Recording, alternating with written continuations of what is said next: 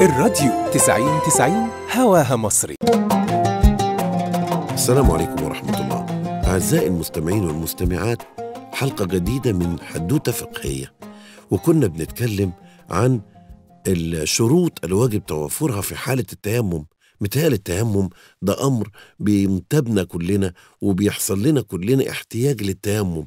أكيد بيبقى عندنا راجل كبير أو ست كبيرة ويصعب عليه إنه يتوضأ وبيكون عندنا حالات مرضية أو حد في مستشفى أو حد خارج من جراحة وبيصعب عليه إنه يتوضأ وبيحصل عندنا أحيانا زنقة في آه، القطار ولا في الطيارة ولا ولا في العربية أو مزنوقين في إشارة وهيفوت وقت الصلاة وبنحتاج للتيمم.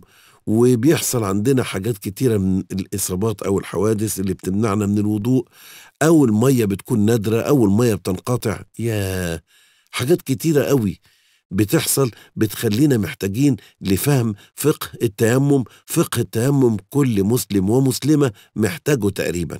فقلنا الشرط الأول انقطاع الماء عدم وجود الماء. طبعا وجود عدم وجود الماء باب كبير جدا بيسمح للانتقال إلى الطهارة البديلة.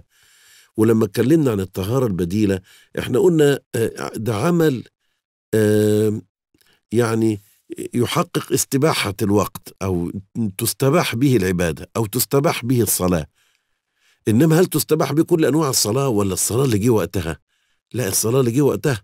عشان كده قلنا أول شرط انقطاع الماء أو عدم وجود الماء. الشرط الثاني تعذر استعمال الماء وده أمر كان في منتهى الأهمية تعذر استعمال الماء. واتكلمنا عن الجريح وعن المريض وكانت حلقة كانت مفيدة جدا امبارح. أرجو إن كنتوا تكونوا سجلتوها أو رجعتوها علشان بتقول لنا على كل الأحوال بتاعة المريض واللي عنده حرق واللي عنده مرض جلدي واللي يتعذر استعمال الماء. بسبب مشكلة حساسية أو عنده في جلده أو خلافه وقلناه النهاردة بقى هنقول الشرط الثالث وهو دخول الوقت. ده شرط لوجوب التيمم. هنا حضرتك حضرتك مش هتقدر تتيمم قبل الصلاة بساعة ولا بنص ساعة زي ما بنعمل في الوضوء. يعني أنا دلوقتي أقدر أتوضى قبل صلاة الظهر بساعة. أنا ما عنديش أي مشكلة. أقدر أتوضى قبل صلاة الظهر بساعة بساعتين يا سيدي ثلاث ساعات. أقدر أقدر وانتظر بيها الصلاة. ما فيش عندي أي مشكلة. إنما ما أقدرش أتيمم قبل أذان الظهر أو قبل أذان العصر أو قبل أذان المغرب أو قبل أذان العشاء. ليه ما أقدرش؟ لأن التيمم هو عبادة ضرورة ولا أمر عادي؟ يعني بنلجأ له أحيانا في الضرورة ولا أمر عادي؟ هتقول لي ضرورة يبقى اسمها عبادة ضرورة. شفت شفت الفقه بقى؟ التيمم عبادة ضرورة. عشان كده لا تجوز قبل دخول الوقت. عارف زي إيه؟ زي طهارة المستحاضة أو اللي عنده سلس البول. يعني اللي عنده حاجات على طول مسكين سلس البول عمال لا مؤاخذة البول بينقط منه البول بينقط منه بسبب أي مشكلة عضوية أو خلافه أو كبر سن أو خلافه. في الحالة ديت أنا ما بقدرش أقول له يا حاج يا اللي عندك سلس البول تقدر تتوضى قبل الوقت بساعة ولا بنص ساعة. ده أنت لازم تتوضى أول ما يدخل الوقت على طول. لأن هيحصل وهتخش في الصلاه وهيحصل تنقيط بول رغم كده صلاتك صحيحة. إنما ما تقدرش تصلي بالوضوء دوت الصلاة اللي بعديه يبقى لابد أن تبتكر وضوءا أو تنشئ وضوءا لكل صلاة لما بيخش الوقت بتاعها. فدلوقتي واحد عاوز يتيمم لانقطاع الماء أو تعذر استعماله. إمتى يبدأ؟ يبدأ لما يخش وقت الصلاة. الأذان يدن الله أكبر يبقى تتيمم. إنما ما تقدرش تتيمم وتستنى وقت الصلاة. وعرفنا السبب في كده. إنما النوافل اللي هي صلاة السنن هل يجوز إنك تتوضا تتيمم لها في أي وقت؟ آه طبعا التيم النوافل أصلا ملهاش وقت يا سيدنا. يبقى النوافل تقدر تتيمم لها في أي وقت أو الفريضة اللي فاتتك فرض فاتك تقدر تتيمم له لو واحد خشى خشية من الموت أو دخول موت عليه وعاوز يقضي اللي عليه وما فيش مية أو يتعذر استعمالها أو وقع أسير لا قدر الله في الحالة دي يقدر يتيمم للصلاة التي فاتته إنما صلاة الفريضة الحاضرة لا تجوز لا يجوز لها التيمم إلا بعد دخول وقت المؤداة التي ينوي العبد أن يتقرب به إلى الله سبحانه وتعالى. كل ده كان جمهور الفقهاء لكن الأحناف بقى شايفين رأي تاني. قال لك إنه يجوز إنه يتيمم قبل دخول الوقت ولو بساعة ولو بساعتين. شفت بقى؟ أبو حنيفة عكس جمهور أو عاكس جمهور الفقهاء في هذه المسألة. قال لهم لا لا لا يجوز إن واحد عاوز. يتيمم قبل ال- الصلاة ما عندناش مانع. يا ترى الحدوتة إيه؟ ولماذا اختلف الأحناف مع الجمهور على قضية دخول وقت الصلاة للمتيمم؟ إحنا قلنا جمهور الفقهاء قالوا لابد من دخول وقت الصلاة. الأذان يدن تبقى تتيمم للصلاه اللي أنت عاوز تصليها. الأحناف قال لك لا مش شرط. يجوز إنك تتيمم قبليها ولو بساعة ولا ساعتين. ما عندناش مشكلة. ليه أحناف؟ قال لك قال لك آه لأنه آه قياسا على الوضوء مش التيمم بيحل مكان أو بيحل محل الوضوء. آه. وأنتم اجزتم للإنسان إنه يتوضأ قبل موعد الصلاة؟ بساعة ولا ساعتين ولا بخمس دقايق ولا بربع ساعة حسب ما أنتم عاوزين. آه اجزنا قال لك طالما التيمم يحل محل الوضوء يبقى يحل محله في أحكامه في صحة التيمم قبل دخول الوقت. تفتكر بقى الأحناف هنا في نظر الجمهور غلط في إيه؟ تفتكر الجمهور اعترض على إيه على الأحناف؟ وقالوا لهم لا أنتوا غلط. لأنه الأحناف عملوا قياس قاسوا التيمم على الوضوء. فجمهور الفقهاء قال لك التيمم ده طهارة اسمها طهارة ضرورة. شفت؟ ما إحنا قلنا بقى ضرورة ولا عادي؟ انت قلت لي ضرورة وده كلامك صح. طالما التيمم طهارة ضرورة يبقى لا يرتفع به الحدث أصلا. يعني لا يرتفع به الحدث يعني الإنسان ما بقاش طاهر علشان يتيمم. أمال إيه؟ قال لك ده استباح به العبادة. ربنا قال له تقدر تدخل على الصلاة وأنت في هذه الحال. إنما مش معنى التيمم إن الإنسان أصبح طاهرا.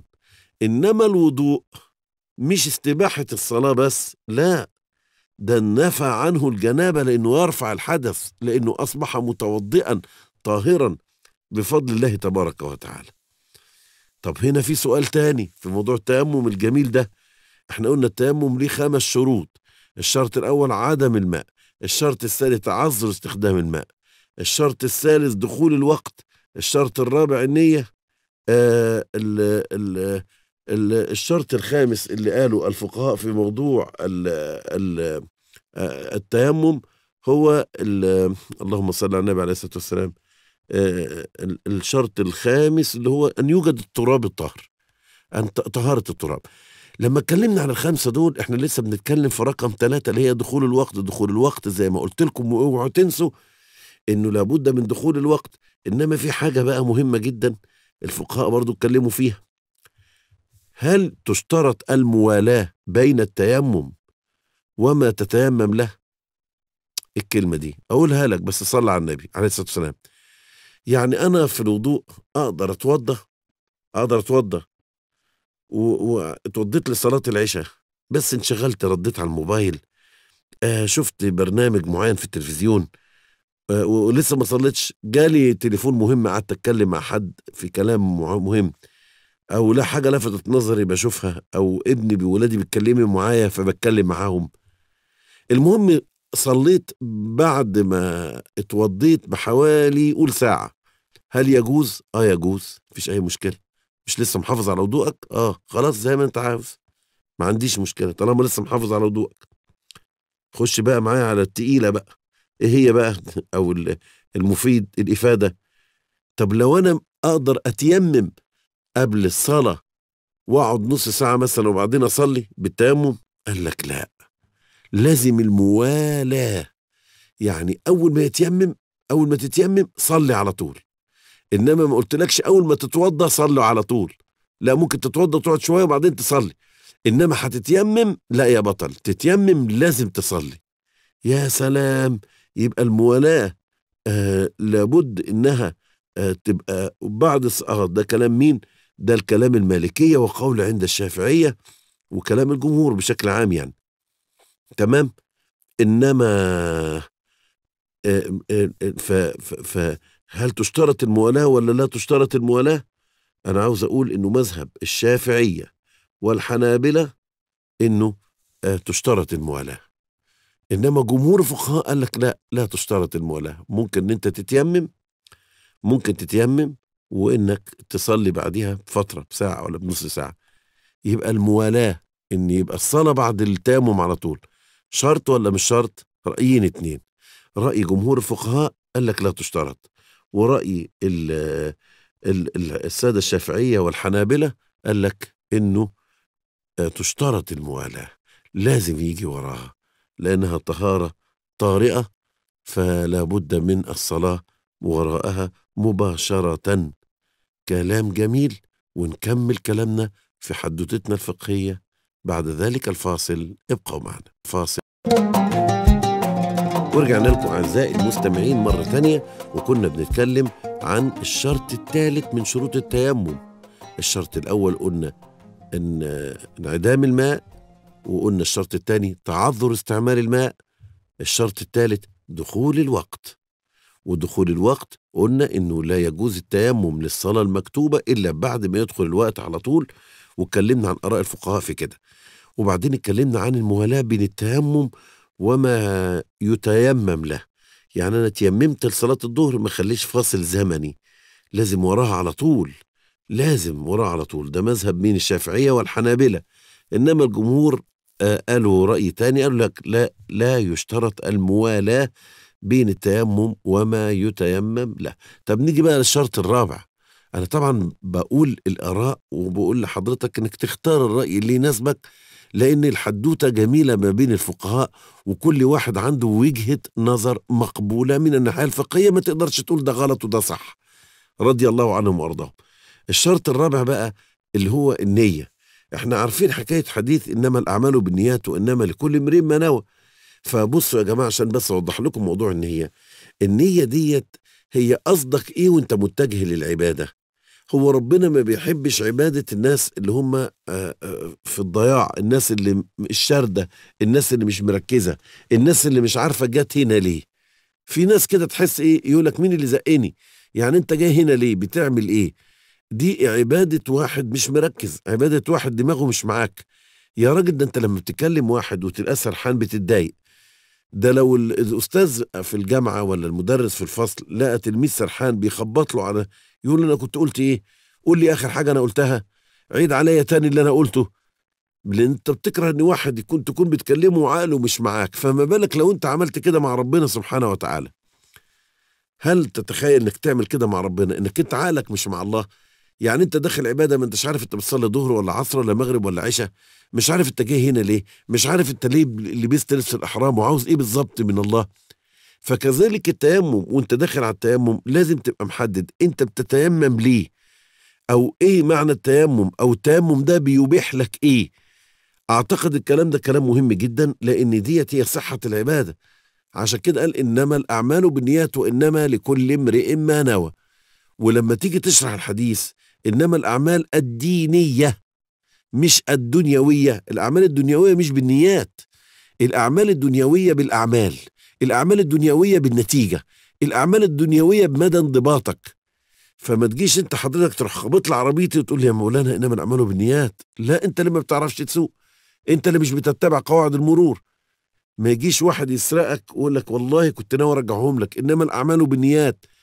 لا لأنه الأعمال دي الأعمال السيئة أو الأعمال الدنيوية ليس لها علاقة بحديث النيات. حديث النيات بيتكلم عن الأعمال الصالحة هيتعمل بيها إيه يوم القيامة؟ عشان كده قال إنما الأعمال أي الصالحات بالنيات إنما الأعمال بالنيات أو الأعمال بالنية كما في رواية من الحديث يعني يوم القيامة بين يدي الله تبارك وتعالى. هو اللي بيحاسب على النية فيه.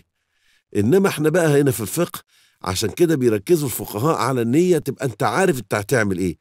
خصوصا إن أعمال بعض التعبدات الدينية بتتشابه مع بعض العادات الدنيوية.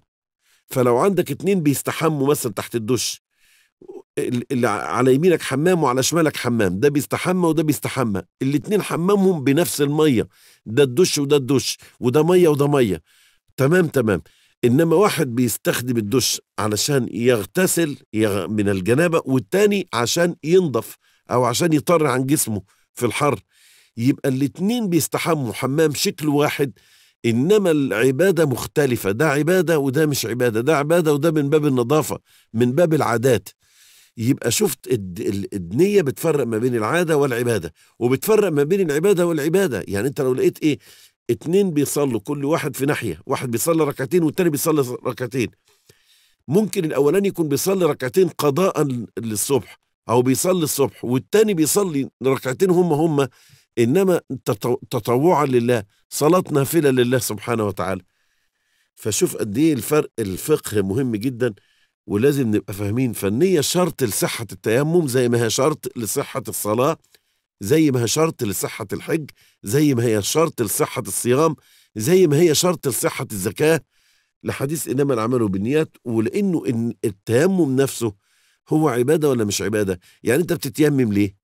ما أنت بتتيمم تعبدا لله سبحانه وتعالى. يبقى طالما التيمم عبادة محضة يبقى في هذه الحالة التيمم يحتاج إلى نية.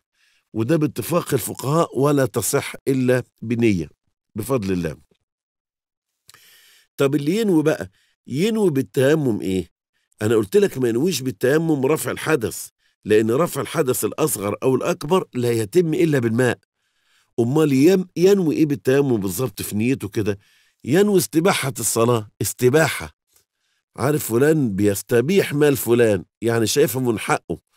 فاللي بيتيمم دوت اللي بيتيمم هو شايف إن من حقه إنه يستمتع إنه يصلي الصلاة حاضرة لأول الوقت زي أي واحد تاني عنده قدرة على استخدام الماء أو خلافه.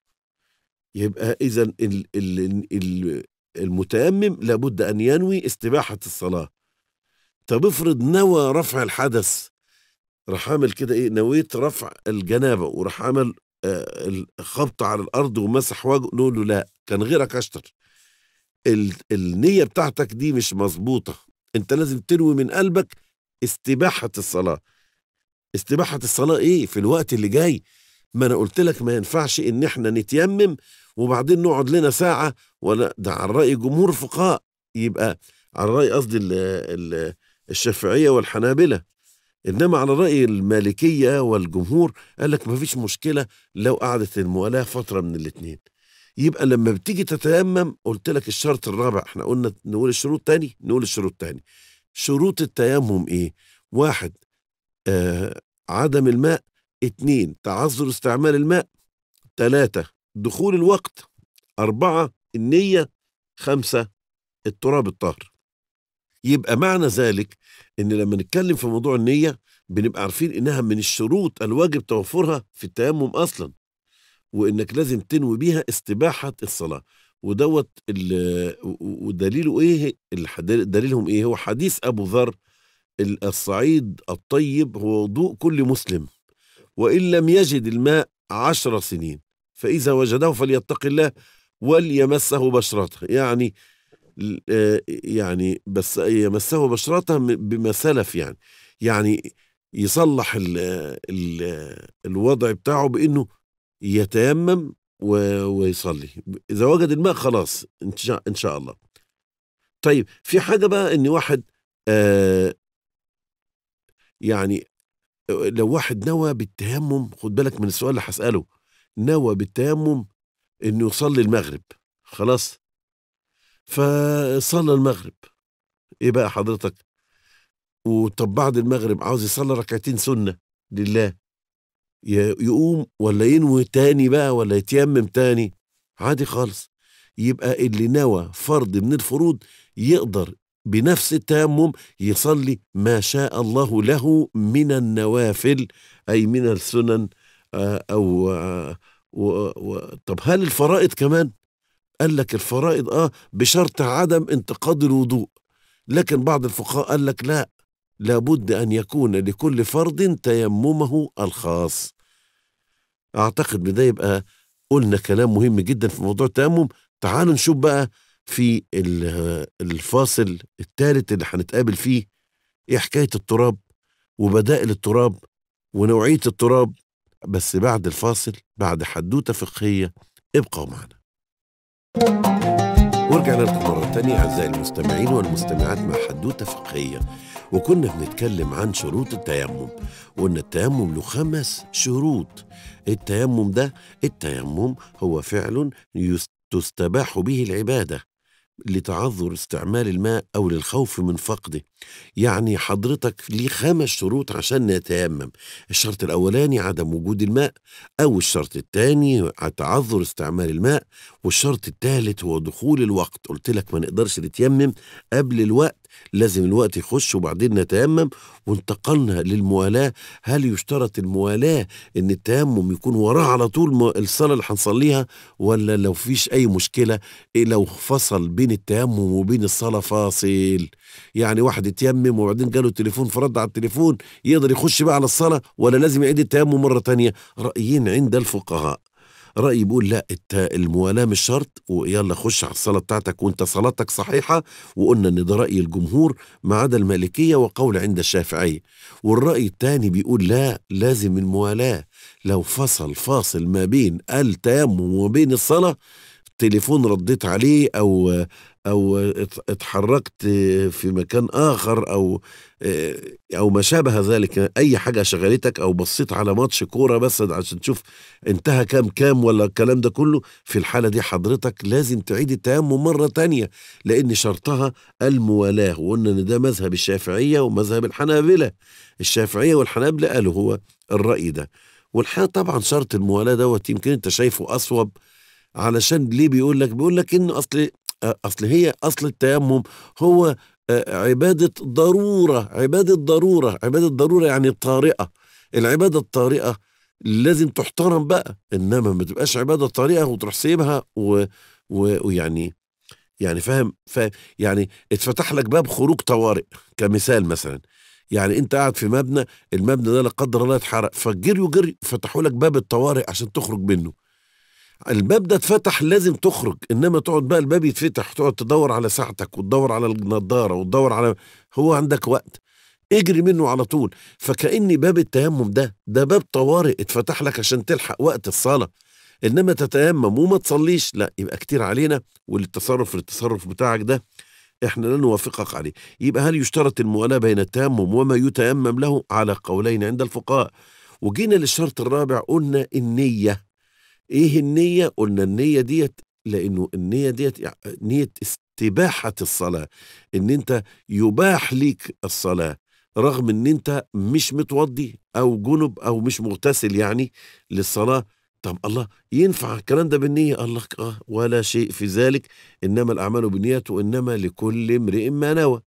طالما نويت ما عندناش مشكلة.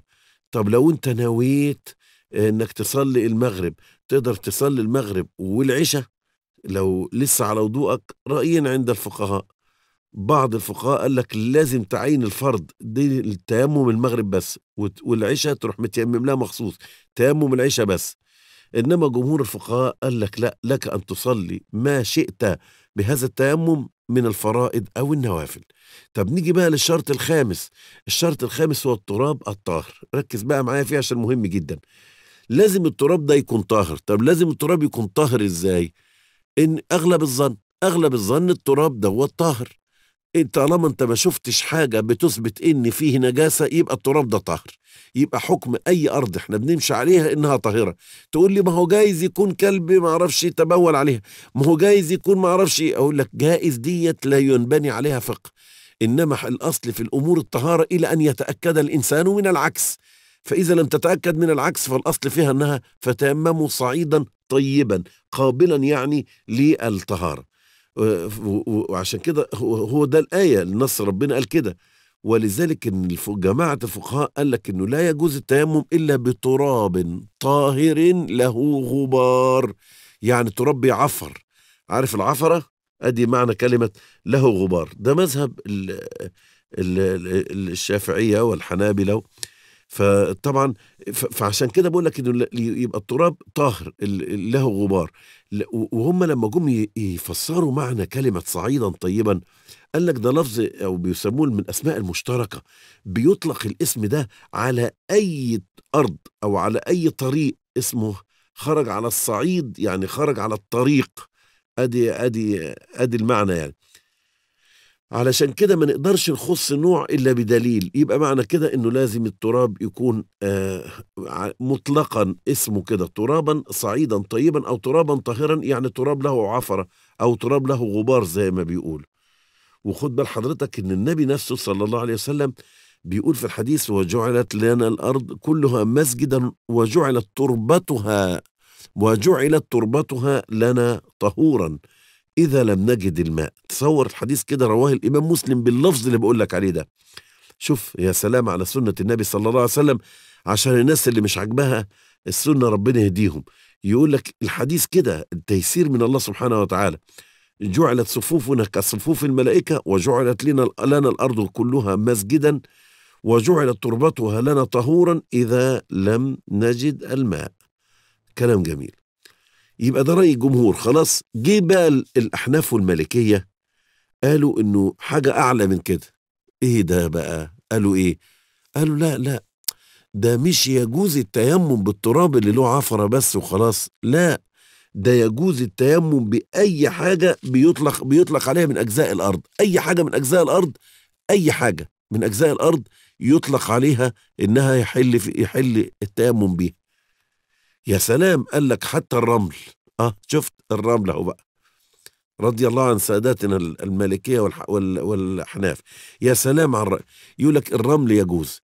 طب الجبس يجوز. قال لك اسمع اسمع اللي جاي دي بقى. قال لك حتى لو كانت صخرة مغسولة. يلا يا عم. شوف يعني صخرة مغسولة. يعني عاوز يقول لك لو زلطة زي ما بيقولوا. يجوز بيها التيمم. لو بلاطة حتى لو مغسولة حتى لو نظيفة. فيطلق عليها لفظ صعيد لأنها من مكونات الأرض. ادي يا سيدي حدوتة جميلة بتثبت أريحية الفقه وهم الكلام ده مش جايبينه من عندهم. هم قالوا إن كلمة صعيد ما على الأرض. كل ما على الأرض اسمه صعيد. لقول الله لقول النبي صلى الله عليه وسلم وجعلت لي الأرض مسجدا وطهورا. يبقى الكلام واضح إنه هل بالتراب أو مع أو بأي مكونات التراب زي بلاطة زي زلطة مغسولة زي جبس أو خلافه ده جائز وده جائز وده الرايين عند حضرتك. لكن تعالى نسأل سؤال مهم قوي افرض واحد بقى لا قادر على الصعيد الطيب ولا قادر على المية. اتفضل يا عم. أنت تعرف ده اسمه إيه عندنا في الفقه؟ اسمه فاقد الطهورين. أقوله تاني أقوله فاقد الطهورين. تقول لي هو في واحد لا قادر على المية ولا قادر على التيمم. أنت بتقول الكلام ده إزاي؟ والله يا جماعة إزاي الكلام ده؟ لو واحد مثلا خاطفينه ورابطينه في عمود مثلا وحان وقت الصلاة لا عارف يتوضى ولا عارف يطول بإيده أي حاجة صعيدا عشان يتيمم. اسمه إيه ده؟ اسمه فاقد الطهورين. فالماء والتراب لو فقدهم الإنسان يعمل إيه؟ أرى عند الفقهاء شفت الله يرضى عن فقهائنا علمونا وحوادثهم الفقهية الجميلة اللي ما بتخلص دي كلها فايدة. رأيي الأولاني يقول لك صلى على الحال اللي هو عليه ولا تجب عليه الإعادة لأن الطهارة سقطت عنه لأنه ما فيش مية وما فيش تراب. ما فيش صعيدا طيبا ما فيش حاجة يمسح عليها إيديه حتى. يعمل إيه؟ يصلي على الحال اللي هو عليه من غير وضوء. أيوه هو دي بقى اللي بيقول عليه من غير وضوء. شفت إزاي؟ زي إيه؟ زي العاجز عن القيام في الصلاة. مش بنقول له اقعد. وسقط من عليه القيام. زي اللي عاجز عن السجود. بنقول له صلي وأنت قاعد على كرسي. أهو خلاص اتشال من عليه جزء من الحكم. هنعمل إيه؟ ربنا اللي خفف عنه. وخلق الإنسان ضعيف وده المختار من أقوال الفقهاء على فكرة. وده الموافق لمذهب الحنابلة والشافعية أيضا. تمام. ده اسمه فاقد الطهورين. يبقى يصلي على الحال اللي هو عليه ده رأي. الرأي الثاني إن هو قال لك لا لا يصلي ولا يقضي لأنه الصلاة لا تصح إلا بطهور أو ما يقوم مقامه من تيمم وهو لا قادر لا على دي ولا على دي سقطت الصلاة. الرأي الثالث قال لك لا هو لا يصلي ولا ولا حاجة إنما يعيد وقت ما ربنا ييسر له ويفكه من الأزمة اللي هو فيها. ثلاث آراء فقه جميل حدوتة لذيذة وكل واحد له حججه وبراهينه وأسبابه. ربنا يعلمنا ويمتعنا. وبكرة إن شاء الله نتكلم بقى عن أبسط طريقة للتيمم وطريقة مسح الوجه والكفين ولا المسح لحد الكوع الكفين لحد المرفقين ولا إيه بالظبط؟ وهل يشترط فيها الترتيب؟ حدوتة لذيذة. نقابلكم بكرة ونكملها. بمشيئة الله. السلام عليكم.